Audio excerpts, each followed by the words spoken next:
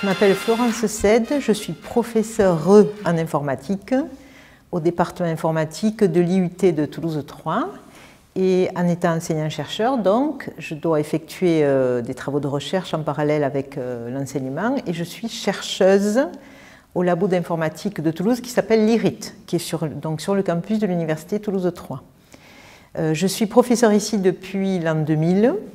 et euh, j'enseigne euh, les langages de programmation, langage objet, les méthodologies pour arriver à décrire et à programmer euh, des applications, les technologies Android, celles que vous utilisez pour les applications sur vos smartphones, les bases de données,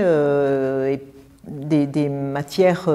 plus ou moins techniques que vous découvrirez quand vous viendrez assister à nos cours comme étudiant ici dans notre département.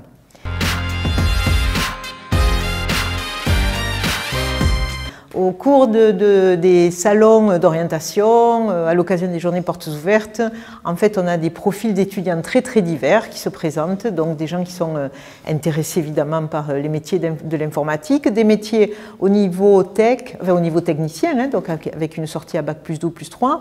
des gens qui veulent après continuer à faire des études d'ingénieur, etc. Et donc la grande partie de ces étudiants sont actuellement des étudiants qui ont suivi les filières scientifiques, donc filière euh, S, mais qui vont donc disparaître, puisque dorénavant, avec la réforme du bac, on va avoir une population d'étudiants qui auront gardé deux spécialités en terminale,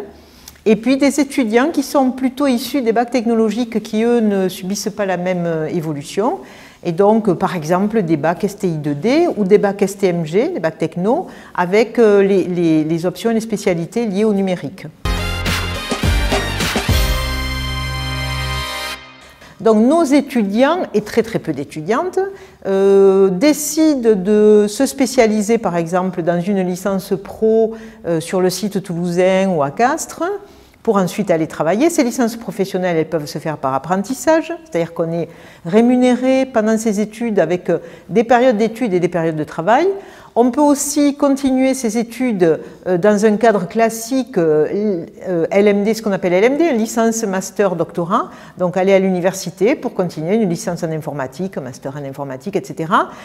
beaucoup de choses en IA, puisque c'est à la mode actuellement, hein, des choses liées au big data, à la data science également. Euh, et puis la troisième voie qui est euh, également euh, possible, c'est celle des écoles d'ingénieurs, avec également des formations par apprentissage, des formations dans toute la France, pas seulement sur le site toulousain, qui vont accueillir nos étudiants et qui évidemment, elles aussi trouvent dommage, je ne connais pas plus d'étudiantes, mais bon. Donc les filles, venez, venez étudier au département informatique de l'IUT3, vous serez les bienvenus.